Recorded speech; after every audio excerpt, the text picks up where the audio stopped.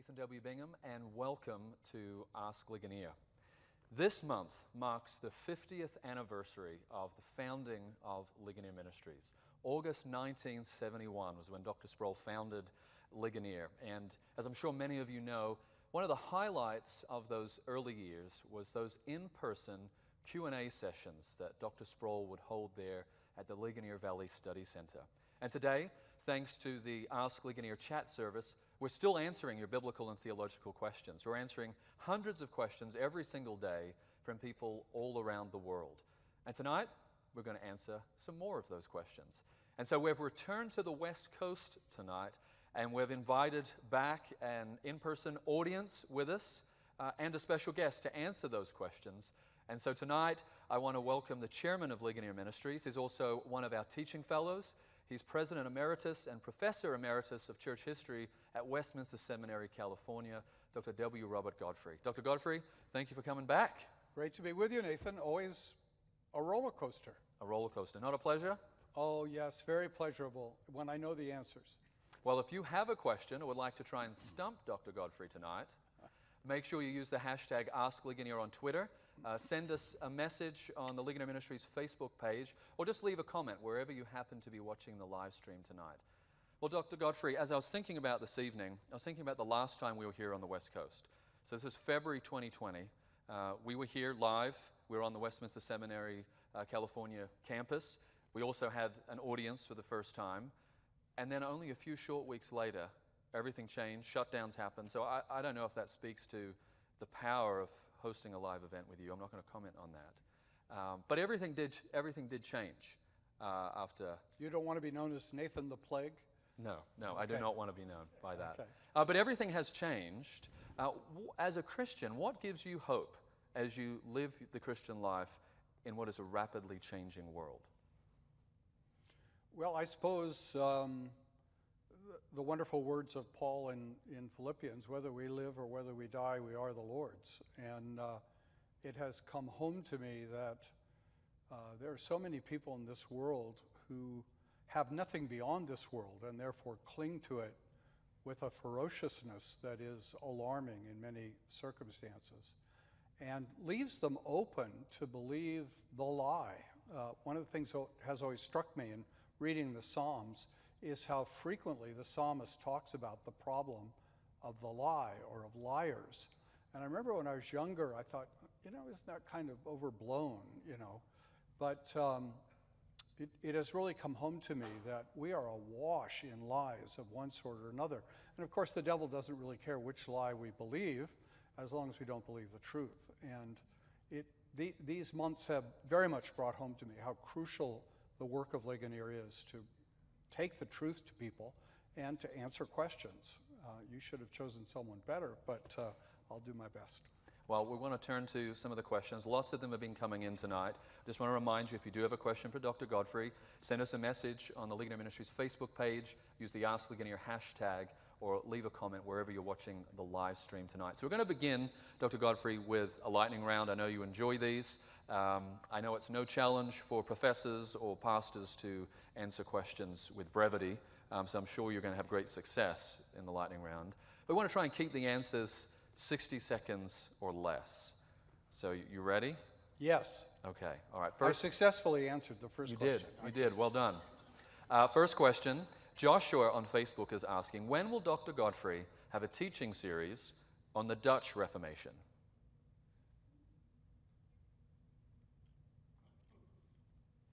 I'm, I'm That's a question stunned. someone else needs to answer? Um, I, no, I would, I would love to do that. I, uh, you know, provisionally you can go and read my book on saving the Reformation on the canons of Dort, but uh, that would be an excellent uh, help, particularly to our benighted Presbyterian friends. Well, I'm sure someone has taken note of that. Yes, I hope so. But that would be fun to do. For, for you to do and for a couple of people to watch? Yes. Okay. That, that's, that's what I said to Chris Larson when uh, I asked if he'd published my book on the canons of Dort. He said, Yes. I said, Do you expect it to sell a lot? He said, Oh, yes, tens of tens. So, you know. Well, next question. This is lightning round. So. And, and, and yeah. you know what Dutch people do? They buy one copy and pass it all around. So. Um, Well, this question came in on Twitter. Uh, why do Christians worship on Sunday rather than Saturday? That's a great question, and uh, depending exactly on one's theology, you'd have different answers. I would answer to saying that that's what the apostles taught us to do, uh, to mark the resurrection of our Lord, and to mark that while all creation worked in hope of rest to come, in the resurrection of Christ we rest and then work in the light of that rest. So I believe it's an apostolic requirement that we worship on Sunday. Uh, Serena on Twitter asks, I'm new to Reformed theology. What is the best resource to help me, be, uh, to help me better understand the Puritans? Well, there are so many, it sort of takes your breath away. Um, uh, I, I remember J.I. Packer saying the very best way to understand the Puritans is to read the Westminster Confession of Faith. That the Westminster Confession of Faith is a Puritan document, it was written by Puritans, and it is a marvelous summary of what uh, Puritans taught and what they thought was most important. And when you've graduated from that, you can read the larger catechism.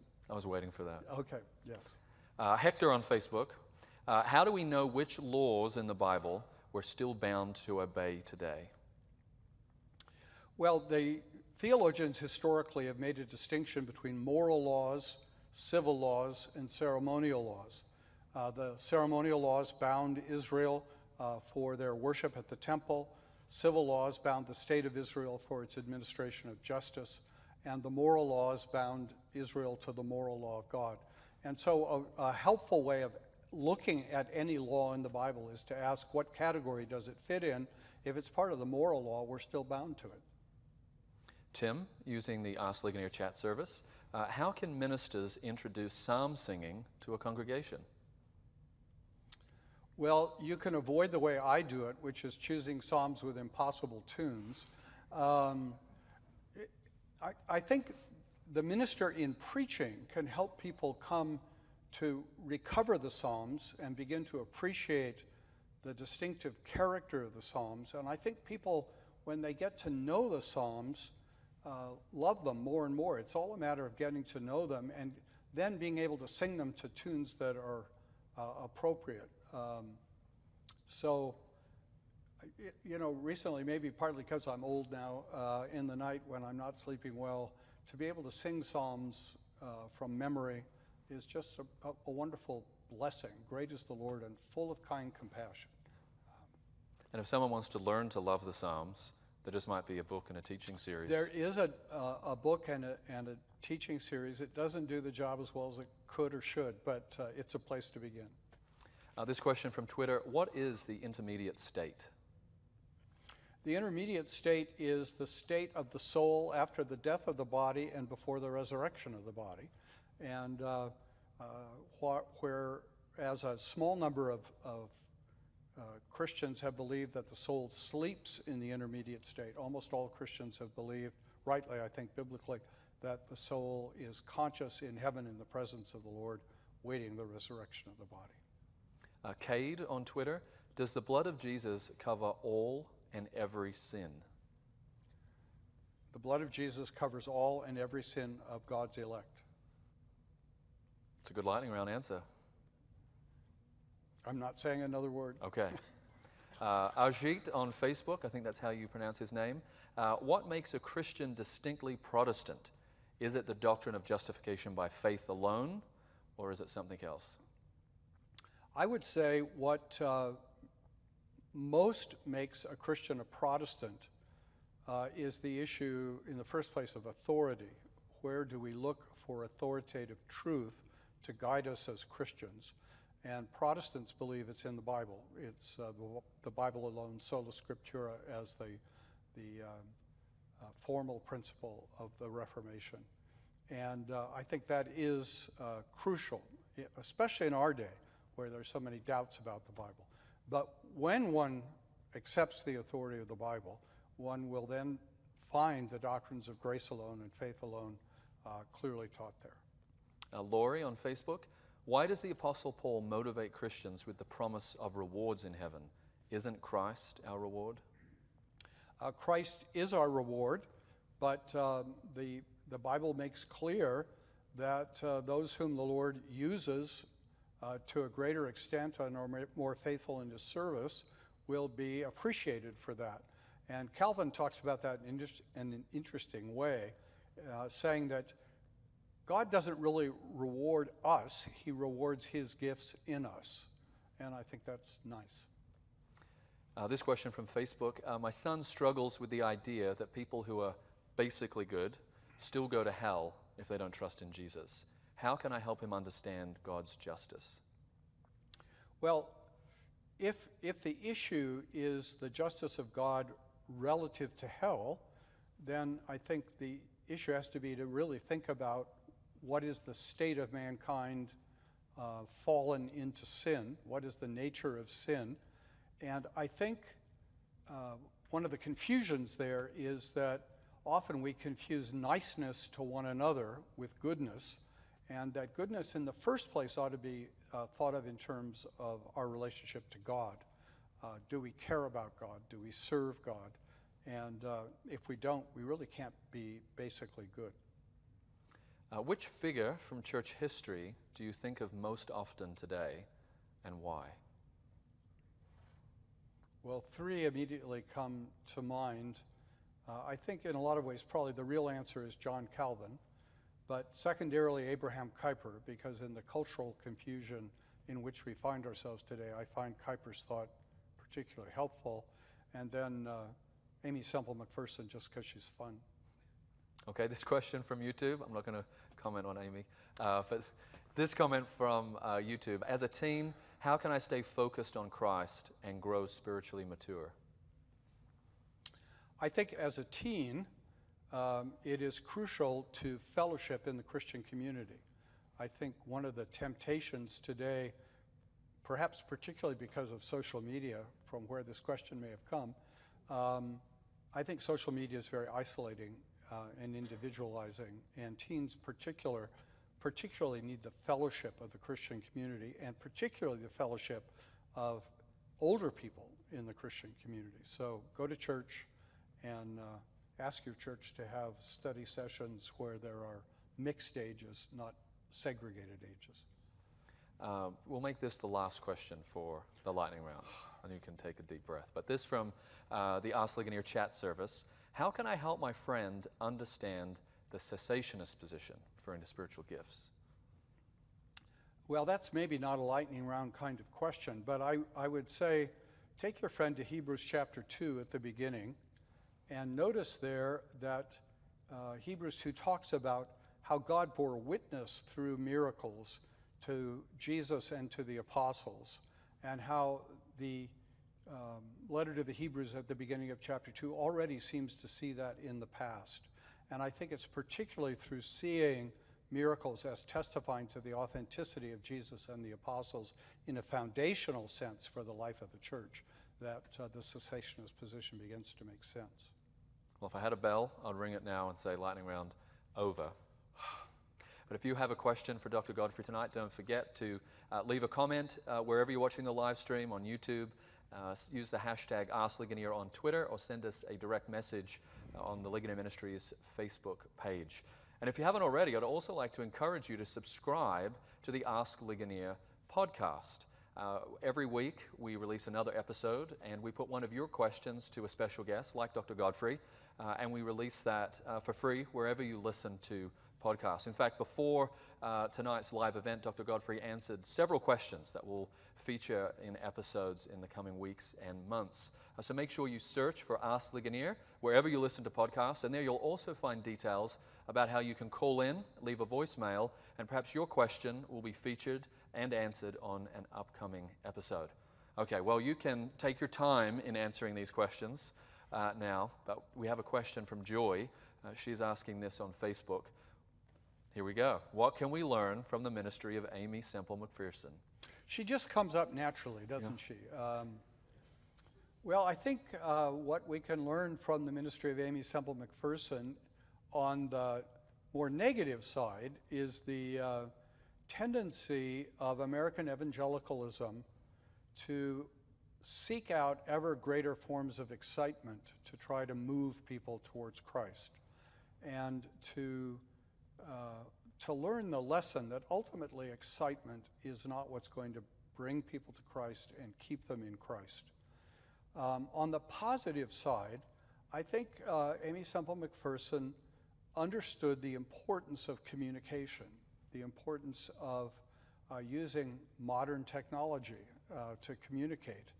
And uh, while at times she may have done that in ways I wouldn't have entirely approved of, her, her passion to get the message of the gospel out and her sensitivity to the times in which we live, I think really should continue to, to inspire us.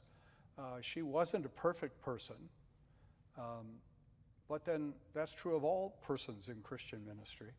And um, um, I, think, I think her passion um, should inspire us and uh, should, should lead us to be determined to be modern Christians. My wife always said to me that if the 16th century ever came back, I would be ready.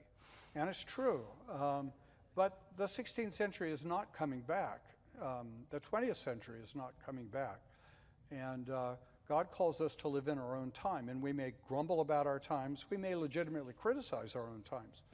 But our calling is to, to minister the truth of Christ to our time. And uh, uh, I think uh, that's an important lesson to learn. So, when you bring up the negative aspect um, of using excitement to try and draw people to, to Christ, how do we see that played out in the church today, the 21st century church? Well, I think the, the great shift that took place in the latter part of the uh, 20, 20th century was very much in music, where the determination was that we want to leave old fashioned and to be sure, that meant largely 19th century music behind, and we wanted to go with the times to connect with contemporary people and therefore use contemporary music um, to do that, and that that music would be more exciting, more engaging. Uh, and I have a friend who said some studies have suggested that rather, being the, rather than being the door into the church, contemporary music has been the door out of the church. It's an interesting thing to think about and, and investigate. Um, and it is certainly true that in much of the 20th century, the church sang some pretty bad 19th century music. So um, we shouldn't weep too much over the demise of that. But the problem with a lot of exciting contemporary music became that it was, was repetitive and, and shallow and didn't uh, really measure up to the profundity, for example, of the Psalms. And um, even if you're not an exclusive psalm singer, I don't know about you, but uh, even if you're not an exclusive psalm singer, the psalms sh- certainly should be the model of what God wants us to sing. And, and the psalms uh, are profound. They're deep. They're carefully constructed. They're beautifully po- uh, beautiful poetry. They connect to us in all sorts of ways. And um, uh, we, we ought to pursue that. Uh, the uh, the end of Hebrews 12 talks about how we are to worship God with reverence and with awe, and we have to think very carefully about re- what reverence and awe means in the contemporary setting in which we find ourselves. John on Twitter is asking, what is the difference between heresy and apostasy? Have we seen new examples of each in the 21st century, or are we dealing with the same issues from previous eras? Well, heresy, historically defined by the church as the, um, a, a false teaching which is so false that it deprives one of salvation. And the distinction then is usually made between heresy as soul damning and error, which may be problematic but is not a heresy. And then heresy is also sometimes compared with schism, uh, division in the church, and the uh, historic posi- uh, definition was that heresy was a sin against truth, and schism was the sin against love. Um, and that, again, the, the conviction of the ancient church certainly was both were damning. Um, I've not thought so much about the relationship of heresy to apostasy, since apostasy is a falling away, uh, and a falling away probably from both the church, and therefore a sin against love, and from uh, heresy, which is a sin against truth. So uh, apostasy is really turning away from the whole of Christian reality. Both its truth and its love and its unity in Christ. And uh, yeah. Th- This question from Facebook. Uh, there are so many theological positions concerning election, atonement, regeneration, and so on. How do I know the gospel I have believed is actually the true gospel? I, I think that's a great question, and I understand in a world of hundreds and hundreds of denominations that people can begin to, to wonder. And I've known over the years now a number of people who have become Roman Catholics, I think in part because they are just worn out with the sense of burden uh, to figure out what truth is. And there's something then sort of restful to say, well, it's really up to the pri- priest and the bishop and the pope to figure out what truth is, and I'll just follow them. Uh, I understand that emotional appeal of Rome, but I think it's profoundly wrong. And I think you, you see the profound wrongness of it.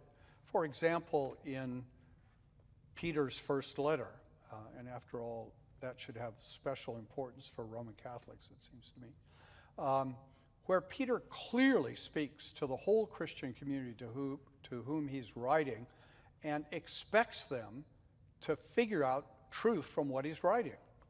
Uh, and uh, he, he nowhere says, just follow your bishop and your soul will be safe. He says, you need to know the truth. You need to follow the truth. You have a personal responsibility about that.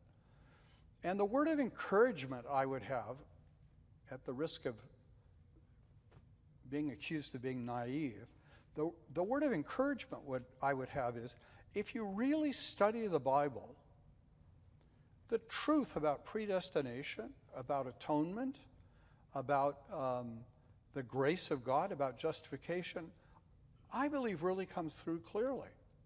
Um, those who, who reject predestination are rejecting what's clearly there in the scripture. And they may have all sorts of, of textual gymnastics that they go through to try to avoid the plain meaning of the text. Uh, but I think an honest person would have to say, you know, what, what Paul says in Ephesians 2, what Paul says in Romans 9, what Jesus says in John 6, these are really pretty clear. And uh, the, problem is not that we don't understand them, the problem is we don't want to believe them. And so I, I would encourage those who are struggling uh, to find a church that really believes the Bible and encourages you to study the Bible. Now, that doesn't mean we easily agree about everything. There will be some issues, uh, but those are almost always secondary issues. Uh, the great issues of the gospel, I think, are plain in the scriptures. This question from Facebook. I am a high schooler. It's very encouraging to see uh, a number of high schoolers uh, writing Indeed. in. But I'm a high schooler with unbelieving parents and unbelieving classmates. What advice would you give me as I seek to live for the Lord? Well, I would say in the first place that, that you've touched on the very heart of things live for the Lord. Uh, let them see your life is different. And, um, and I would say, uh, I, I've said this to uh, parents who had trouble with children uh, no one was ever nagged into the kingdom of heaven. And so, um, bearing witness to your parents is also a matter of um, not being obnoxious, but being open to opportunities to speak about the Lord. Um, I, I think one good way of trying to do that is to talk as naturally as one can about what the Lord means to me, what the Lord's done for me, what I'm experiencing in my life uh, before the Lord, so that uh, you're not sort of confronting them. There may be times for confrontation, but you're uh, talking about your experience, and in this postmodern world where experience is everything, what can they say to that? Uh, but you're, you're opening an opportunity for them to ask questions. And I think very frequently what we find is that when the Spirit is opening hearts, He leads people to ask questions. So uh, I would be patient, I would pray. That's crucial because it's the Lord that has to open hearts. And then to look for opportunities to speak, but to lay a foundation of godly living before them um, as you go along. This comment on YouTube Uh, why does the Bible warn Christians to, be, uh, to beware of false teaching if it is not possible for the elect to fall away?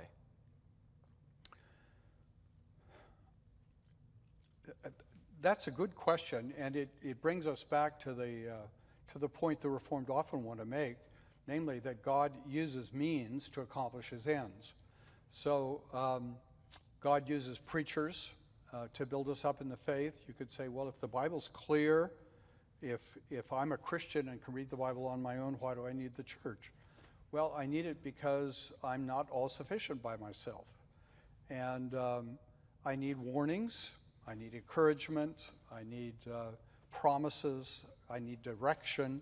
And all of those things are to be found in the Bible. All of them are to be found uh, in good preaching, in good Christian fellowship.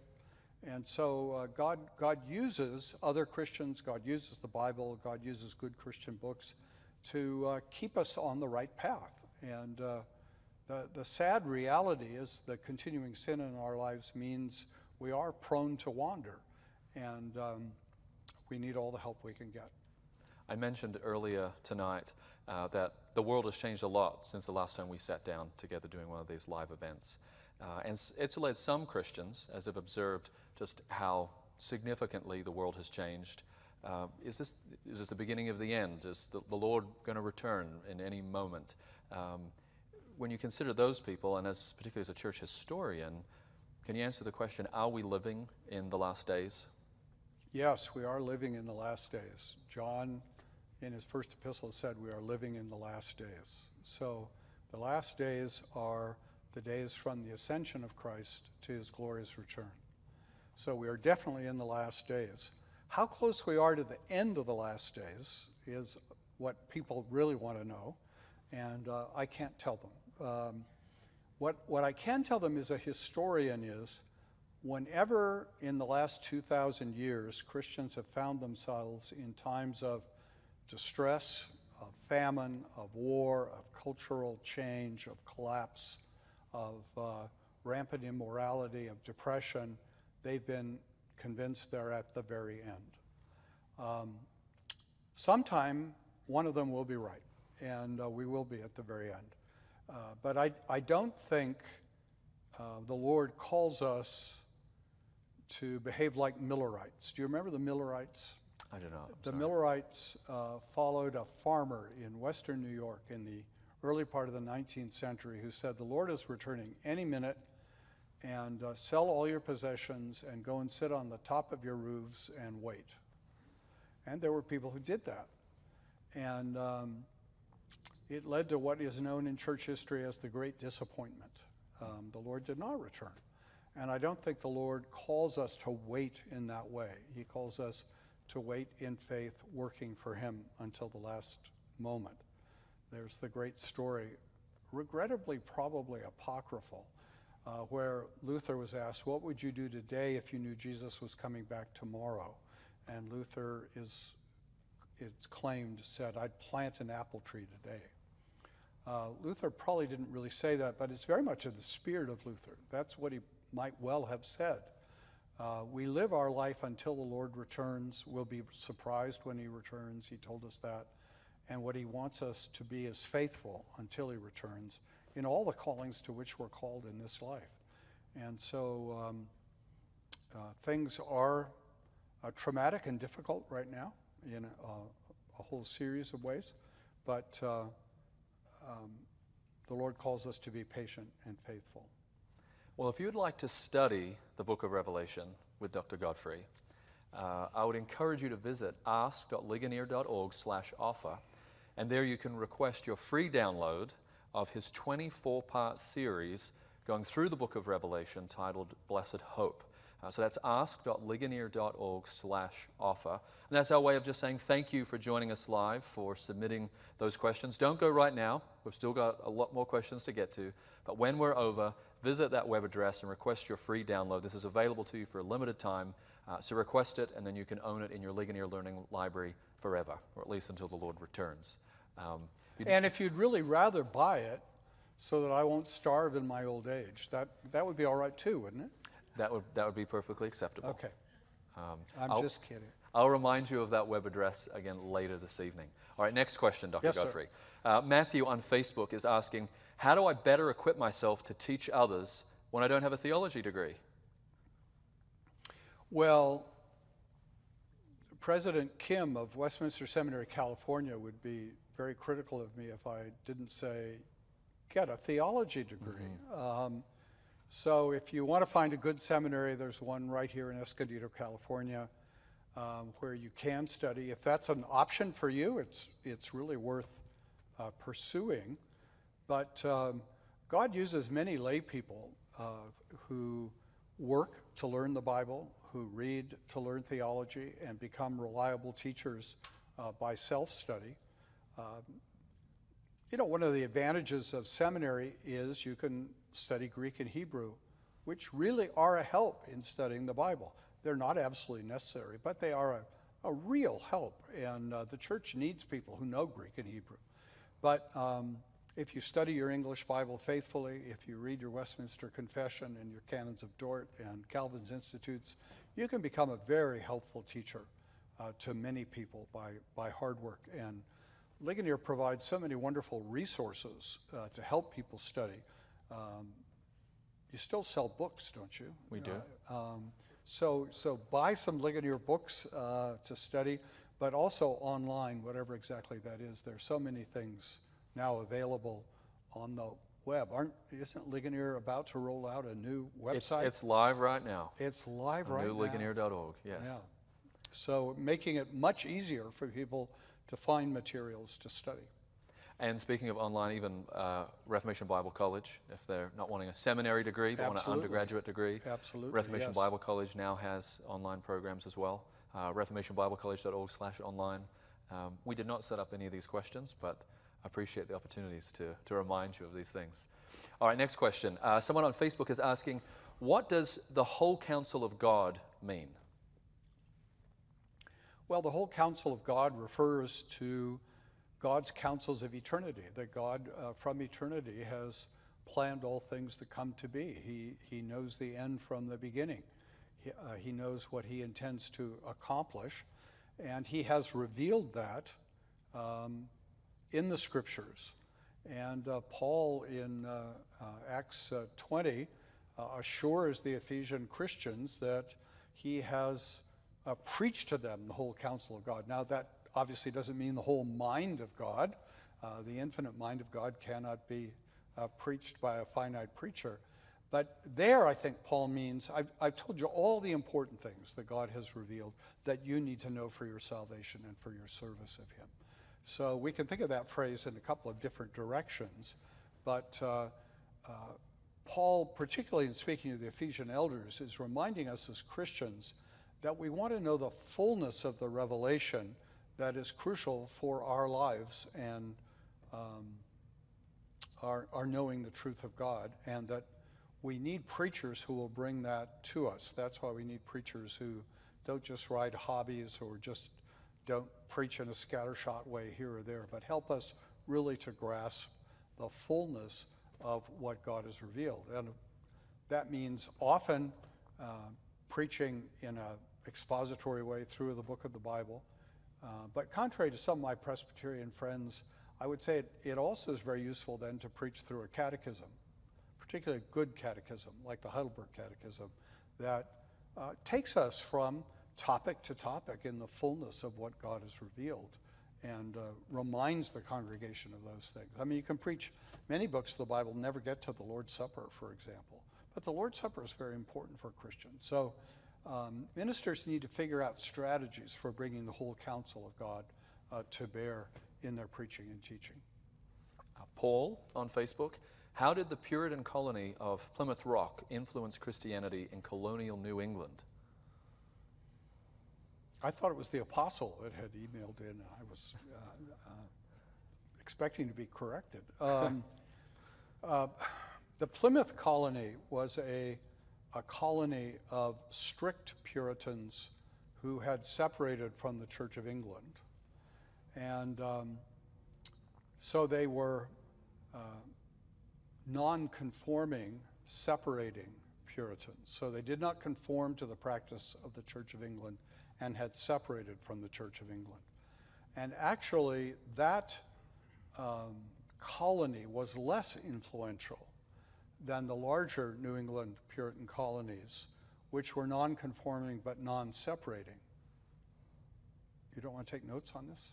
Um, I'll watch it on YouTube. Okay. Um, so um, the, the, lar- the, the, the, Plymouth colony grew rather slowly, uh, whereas the other Puritan colonies grew much more quickly because they had more um, support from England as legitimate colonies. And so uh, many of the, the big Puritan names that we think of from New England, um, uh, whether the Mathers or, or Jonathan Edwards, are more descended from those non-separating, uh, non-conforming uh, Puritans in New England. But the, the Plymouth colony uh, was an inspiration, I think, because of their, their fervor and their commitment and their passion and their willingness to suffer uh, for um, the offense of separating formally from the Church of England. This question on Facebook uh, What era of church history is most similar to the church today? Now, that's a good one. Um, I, would, I would say uh, we are uh, in a time machine moving backwards. So, as I'm sure you thought immediately of the Emperor Theodosius in 380, I mean, that's what comes to mind with a question like that. And uh, uh, the Emperor Theodosius is the one who made Christianity the official religion of the empire.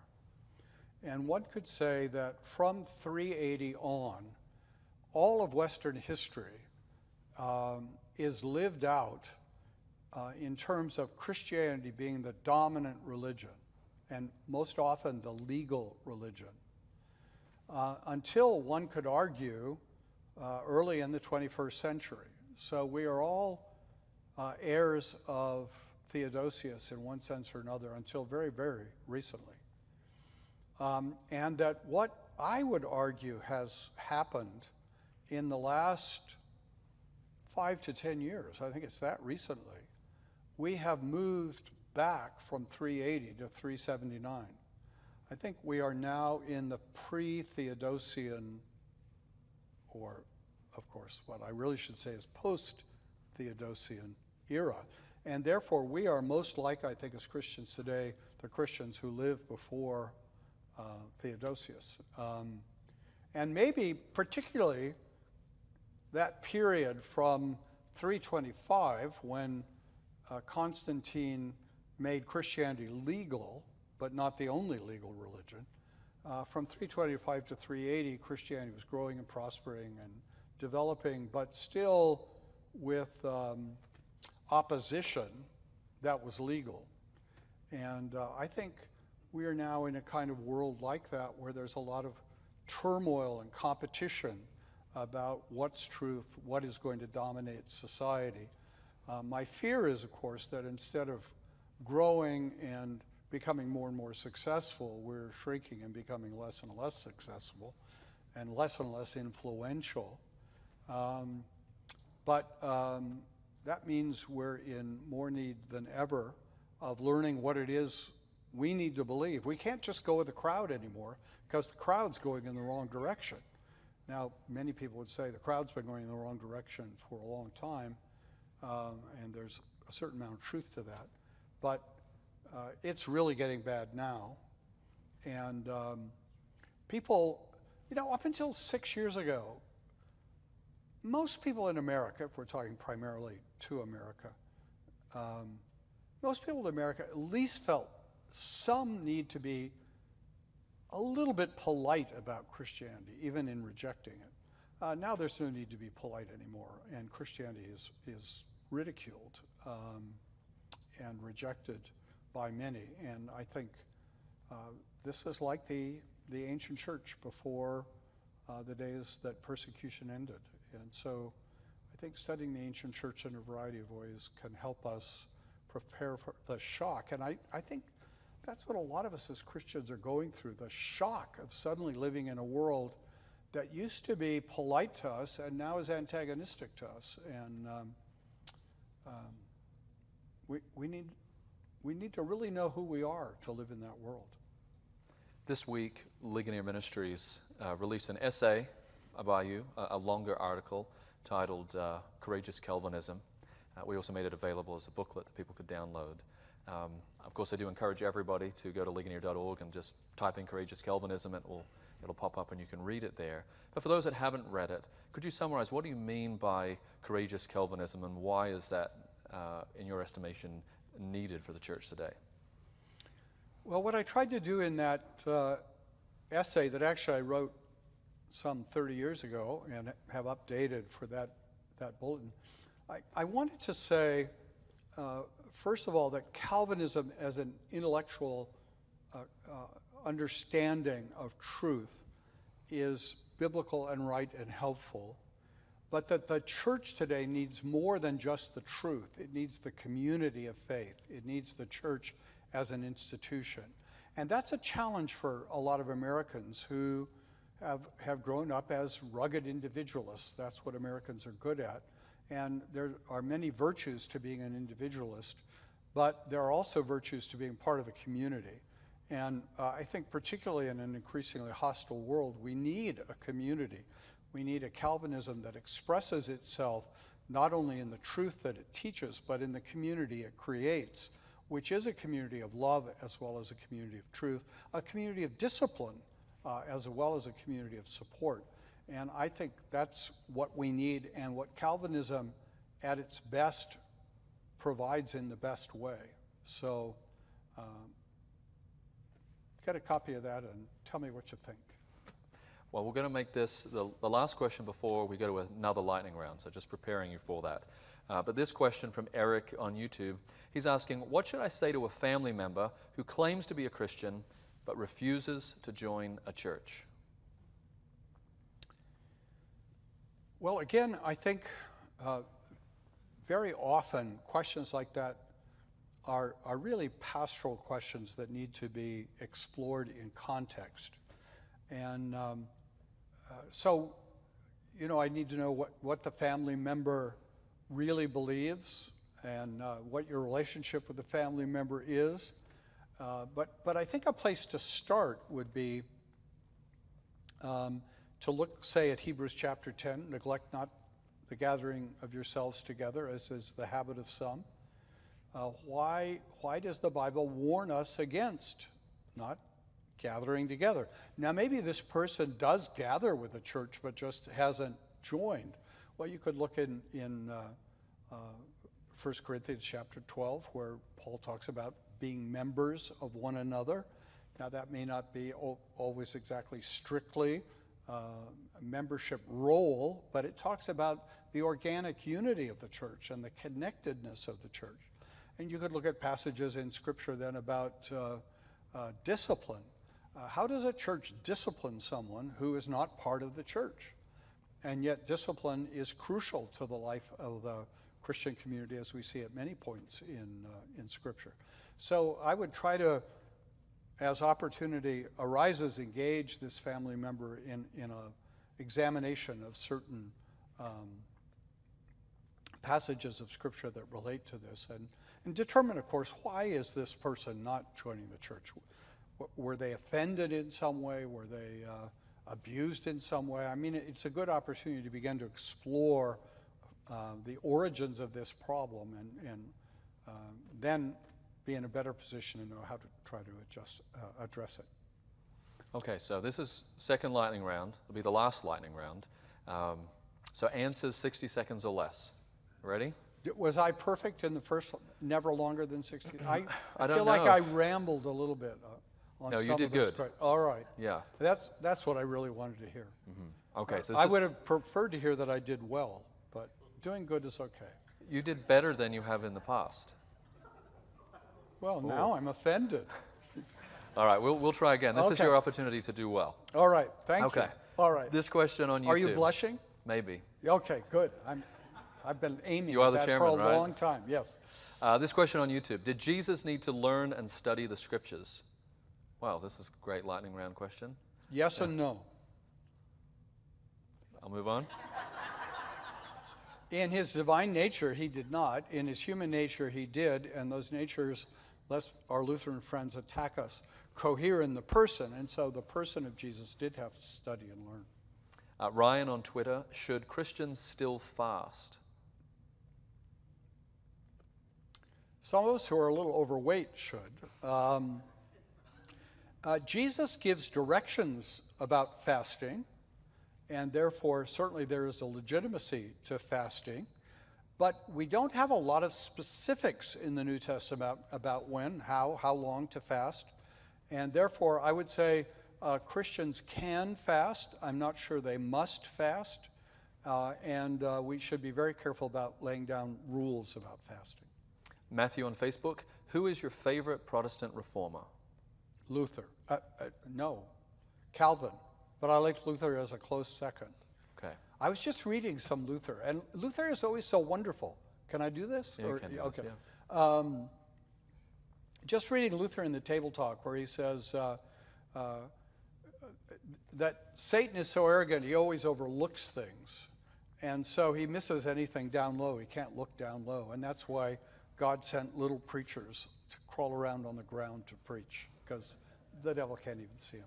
So Luther is so quotable, but, but Calvin is so very uh, balanced, but passionate at the same time. Aaron on YouTube is asking What book would you recommend on the subject of church worship? Uh, Mike Horton did a, a, good book on, on church worship. Um, uh, John Muether and Darryl Hart did a good book on church worship. I keep meaning to write one. I recommend that very highly, but it's yet to be. It's not in print yet. It's not in print yet. It's not in print yet. But it's a very important subject. Uh, and part of the problem is there are so many good Reformed books on worship that are mainly theological and historical.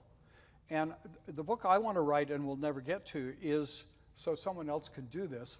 Um, it show, would show the biblical foundations of Reformed worship. We don't create our worship just as a matter of history and theology, as important as those are. Um, but, but John Calvin reformed the worship of the church because of what he found in the Bible. And we need a better book to make that clear, I think. This question from Twitter What are the main differences between the Dutch Reformed tra- tradition and Presbyterianism? The Dutch Reformed tradition is Dutch, and the Presbyterians are Scottish.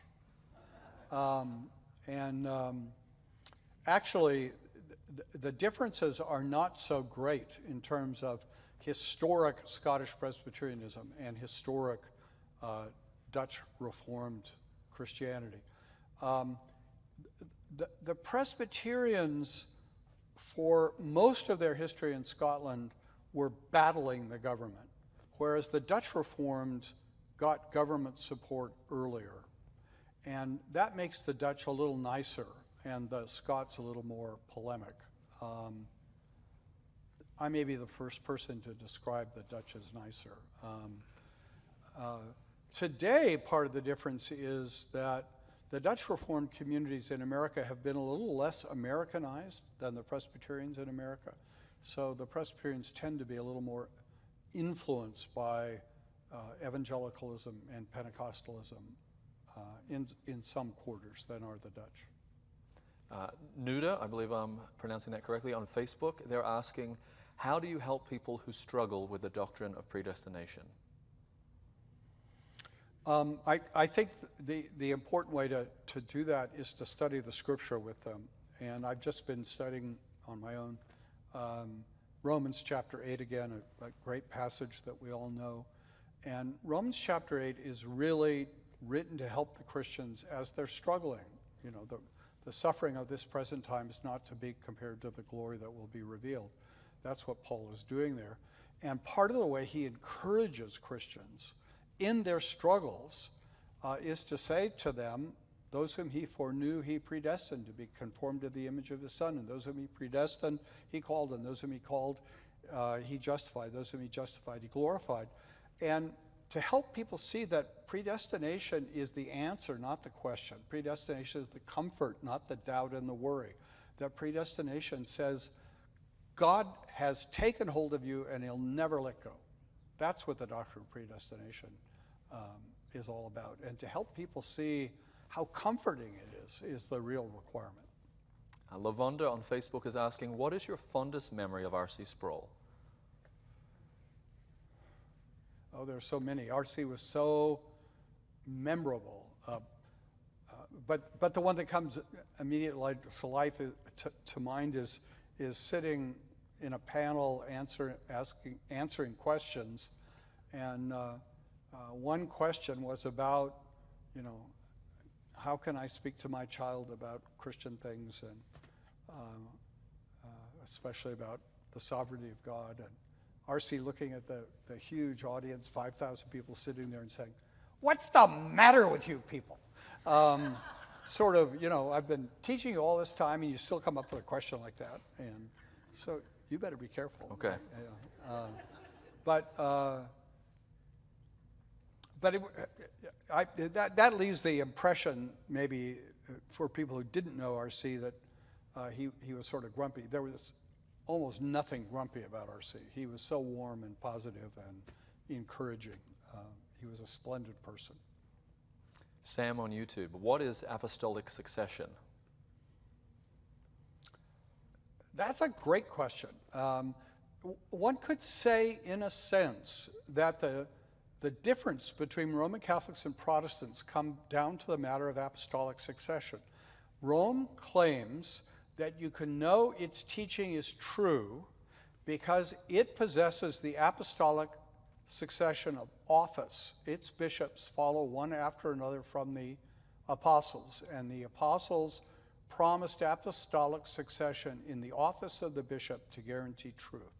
And Protestants say, uh, we are right because we have the apostolic succession of teaching, not of office, and that it is the apostles' teaching that guarantees the truth, not the apostolic office, and that the apostles never taught the apostolic succession of offices, but they did teach the apostolic succession of truth, which was to be preserved in the scriptures for us for all time. So we believe in the apostolic succession, but not of office, but of truth. Alyssa on YouTube is asking, what methods can help me memorize scripture? Well, I know uh, the Navigators are an organization that have given great time and energy to encouraging people to, nap, to uh, memorize the truth and materials to help them do that. Um, I, I admire people who can memorize the truth. My memory is very peculiar. I have a really good memory unless I have to memorize something word perfect, and then I find it very, very difficult. Uh, so um, go at it. But um, if you can't always memorize things word perfect, um, get it in mind the substance of the thing. That's maybe more important, and where to find it. Um, Last question for the lightning round. Brian on Facebook is asking, why should all Christians, you, you love, these are really good questions for you. Uh, why should all Christians study church history? Um, it's comic relief from theology. Um, uh, it's, it's theology in action. It's theology in reality. Um, and, and church history always reminds us that people are not motivated exclusively by ideas, um, that they are motivated by many factors. And church history helps us see why sometimes people fight over theology when they're really fighting over other things. And uh, so church history broadens us out and helps us see theology helpfully in context.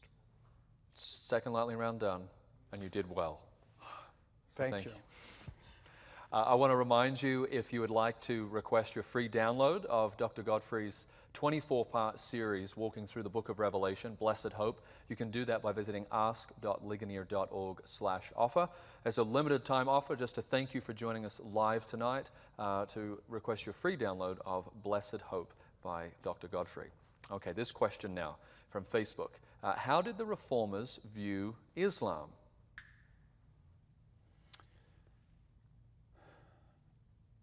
The reformers had especially the first, second generation of uh, reformers, had a little less immediate contact with Islam than uh, some of the ancient churches did that actually ended up bordering on Islam.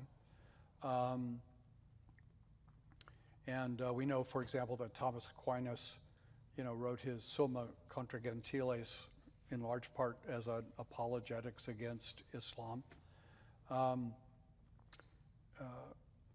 but they were aware of Islam, they were aware of the uh, challenge of Islam, and uh, Islam was a very real challenge. Uh, in the um, 16th and 17th century, Islam had um, marched into Eastern Europe and conquered significant areas of Eastern Europe and actually would come to threaten the very gates of Vienna.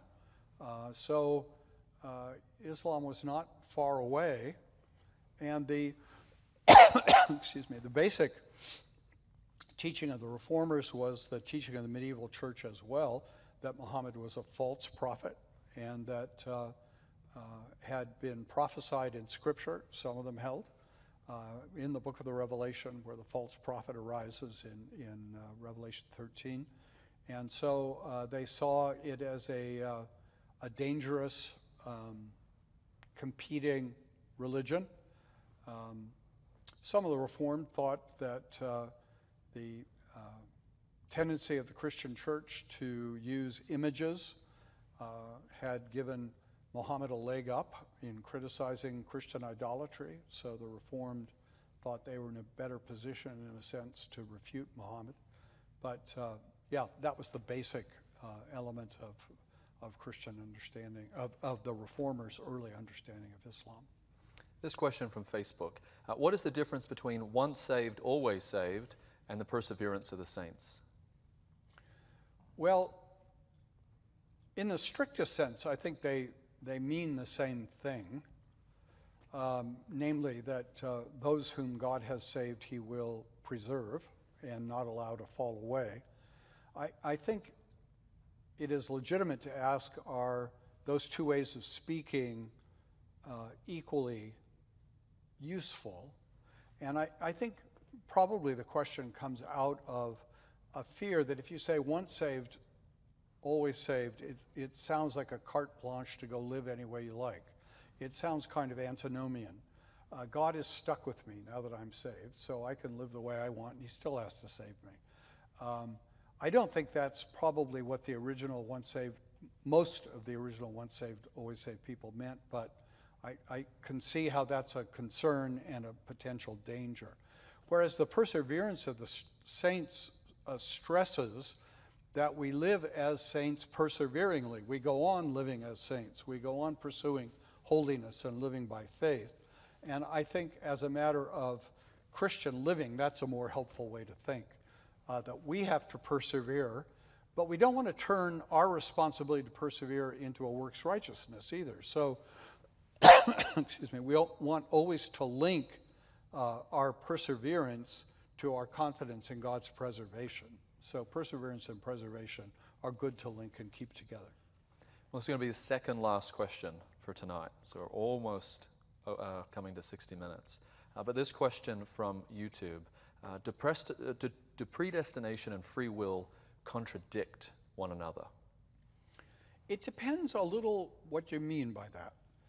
Um, Augustine, early in his career, wrote a, a treatise called The Freedom of the Will, and he never retracted that, despite his strong teaching on predestination.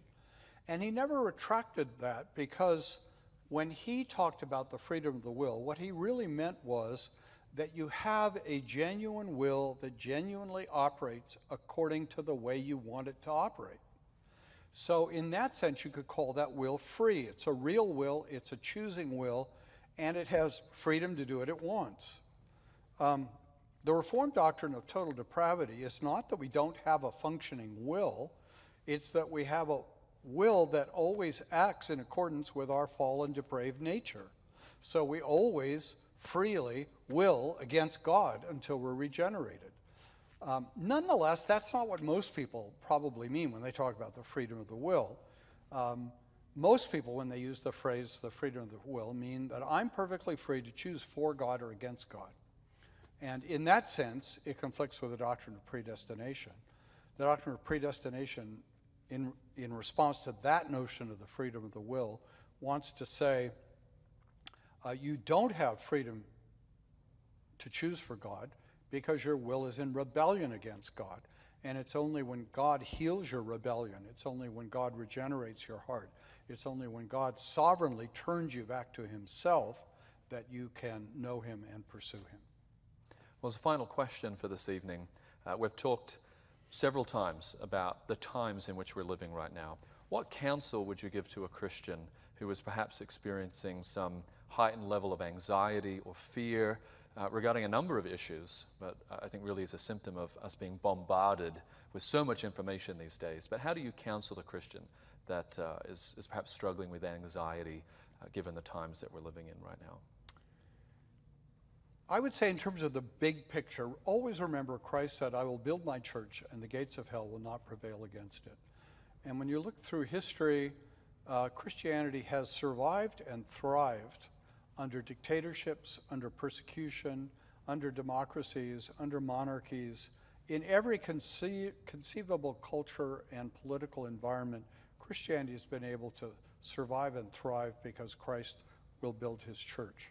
So don't get overly anxious. Um, and again, I would say I think it's tremendously important for us to be part of a church, a local church. Um, to, to gather regularly and, and be encouraged uh, by the faith of others. Um, and then to cultivate our own individual Christian life by prayer and Bible reading so that uh, we are constantly, daily reminded that God is in charge. Uh, God knows the end from the beginning. God accomplishes all things according uh, to the counsel of his will for good for those who love him and are called according to his purpose. So, um, these are hard times, and it's not surprising that some folk are very anxious. But uh, God is in charge, and God will comfort us individually as bringing this world to his end. Amen. Well, thank you, Dr. Godfrey, for tonight. We're grateful for your time and for your answers.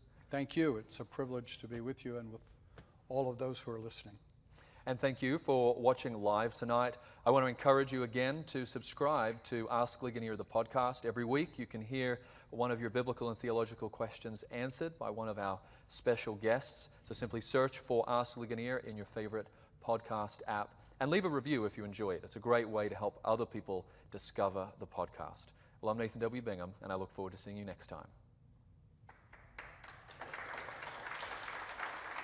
We survived. We did it. I did it.